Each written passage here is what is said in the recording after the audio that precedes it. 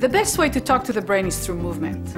Movement is the language of the brain, and when we work intentionally with movement in very specific ways that I do mention in my book, then we impact the brain instantaneously and very often in transformational ways. If there's no movement, first of all, we're dead.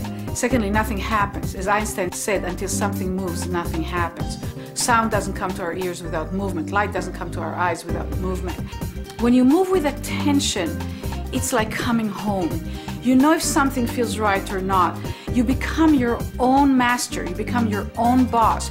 You, you're able more and more to guide yourself, not just in your movement, but in your life in general. Have you ever felt like you wake up in the morning and you can't quite get yourself to wake up and it's already midday and you're still a little hazy and you need to think and do your work and you're still kind of asleep?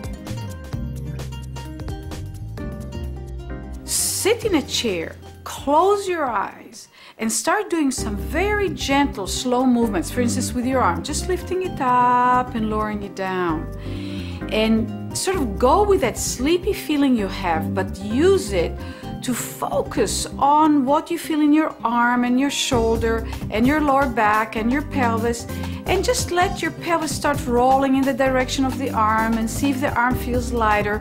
And then just do this like six seven times. Put the arm down and notice if one arm feels actually longer. I can feel it right now. It feels longer than the other. Lift your arm and turn your head to look at your elbow and do this movement again. Lift your arm look at your elbow and again listen to your spine feel the shift of weight if you're standing to your right foot and if you're sitting to your right buttock and then again put it down and just listen.